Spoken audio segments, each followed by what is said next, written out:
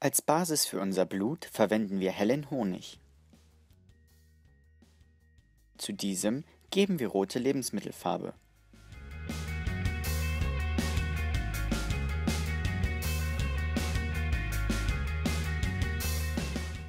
Und ganz wenig blaue Lebensmittelfarbe.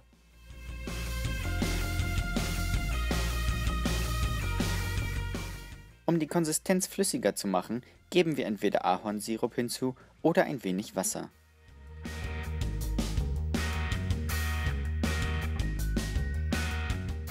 Für die passende Textur empfiehlt sich etwas Mehl.